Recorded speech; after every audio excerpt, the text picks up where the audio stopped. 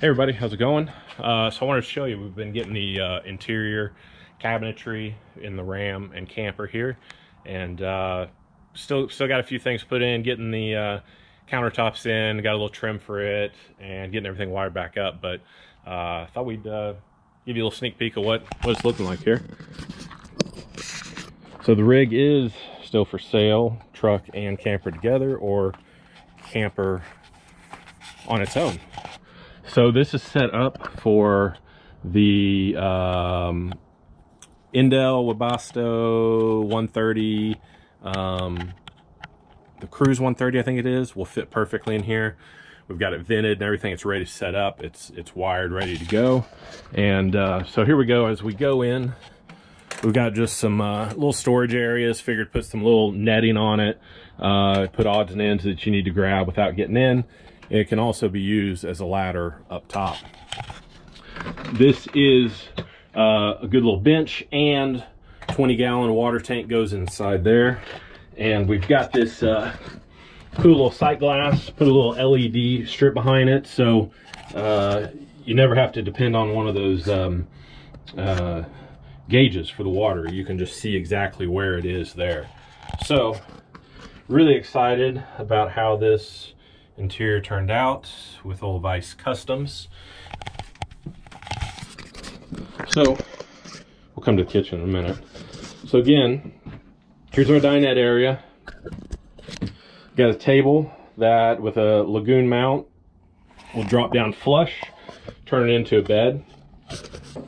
Now we got the floor, we got a little bit of storage under there for shoes, whatnot, get out of the way. A little bit of uh, storage under here that goes back and back over there.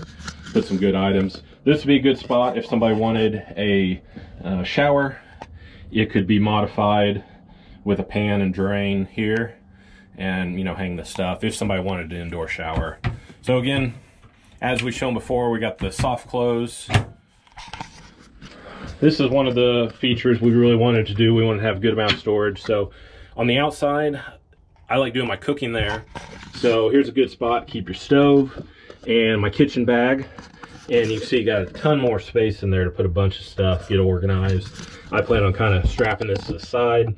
And if you're stuck inside and need to cook, you can just pull it out, put it up here. And over here, got even more storage that's accessible from the outside. I was quite impressed. This is a big comfortable camp chair that I recently got and I really didn't think it would fit but it fits. It fits really well. Got a couple other chairs. So full size um, kind of folding camp chair could easily fit. You could probably get three or four of them in there. And then you've still got tons of storage. Uh, this would be a great spot for firewood uh, really anything. A, a, lot more storage once it's together uh, I'm impressed by how much storage there is so I've still got to get the um, the window shades and everything back on. We've got those off from putting it on. But over here is our kitchen area. This is where would be the best place for the sink, a little sink there. I'm to put a back, uh, backsplash of this same material. And if you wanted to put a stove in, you could. But again, like I mentioned, just grab your camp stove there, pop it up there, you're good to go. So we've got a lot of storage down here. We've got our heat down here as well. And it's also uh, got a lot of room to set up either uh, water heater um, or uh, more electronics, whatever you need space for. So this one here is removable. It pulls out, but it's a good shelf. And as you can see, obviously, the sink will come down there, drain back there. So we've got our diesel heater here. Uh, I haven't hooked it back up yet, so everything's just kind of sitting there. Um, this we, we put this in place before the before the interior's all in. Um, so if I was building, putting putting the heat in stuff, you could probably put it in a little better location, tuck it over there a little tighter, be able to run your vents and everything just as well. So we got these really cool latches here. Close nice. So these in here is just a good general storage area. I like to put these boxes in here. So you got plenty more room in there for stuff, kitchen items, whatever you need.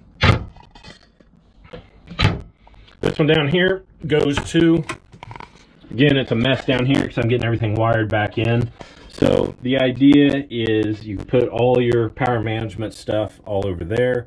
You could even, depending on what you had, you could put like REDARC, Red Vision stuff up there and have uh, have room to spare.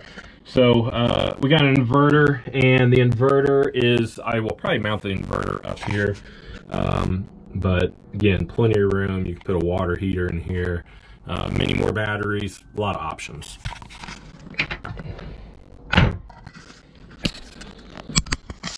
So as for size, we, we tried to maximize these benches. These benches here, this one is, is good size for uh, either a couple kids or even two adults can fit. It's a little tighter over here with two adults, but we wanted to be able to fit a big fridge. And over here is where the ideal adult space would be.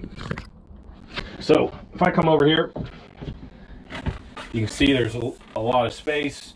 Uh, once we get um, uh, cushions in, be nice and comfortable. Get a nice back cushion here with a little bit of angle. A lot of good space. See outside real nice. Really comfortable spot, so easily two adults. And then when it folds down into bed, put your feet down at that end, and you got a little more room up here. Uh, bed's good for two kids to fit comfortably. Um, two adults, you'd have to like each other. Pretty good for that. That is pretty much it. Just kind of a brief rundown of the interior. Again, table's going to go here, drop down, and uh, yeah. So that's what we got. We will uh, get everything else thrown together, but this is a good little preview.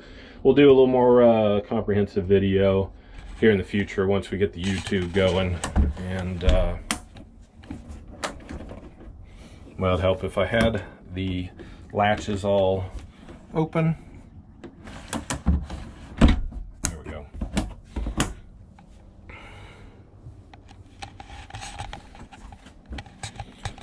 So even at the sitting, standing on the uh, the floor here, I'm six foot, and I've still got a good probably two, three inches head height here. Plenty of room to uh, to move around for for spacing.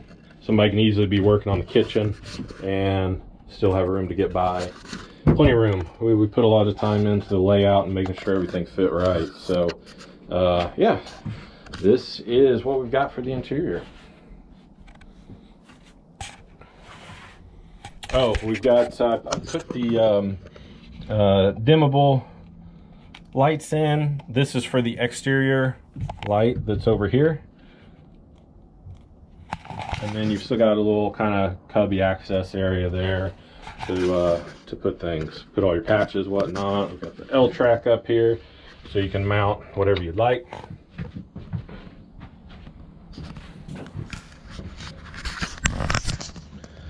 That's it. If you got any questions, remember this one's for sale. Uh, we'll be offering these interiors for all of our builds. Still working on pricing and everything and uh, fine tuning a couple things, but uh, we're real happy with how it turned out. So if you got any questions, let us know. Uh, if you know anybody that would be interested in this, share it with them, let them know. And uh, we appreciate it, and we'll, uh, we'll see you next time.